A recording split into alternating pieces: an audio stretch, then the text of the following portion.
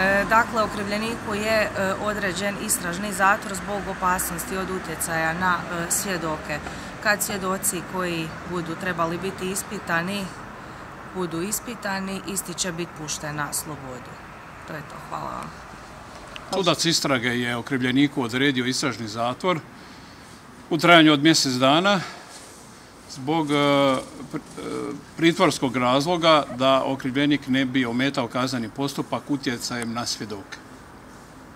Koliko je svjedoka, evo, koga se treba ispitati? E, radi se o četiri svjedoka na koje bi on mogao utjecati. To je supruga okrivljenika i troje maloljetne djece.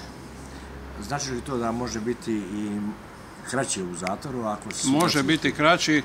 Kod ovog pritvorskog razloga, nakon što svjedoci budu ispitani, istražni zatvor se mora ukinuti.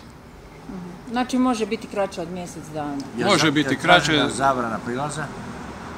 Kad je istražni zatvor, onda nema potrebe određivati zabranu.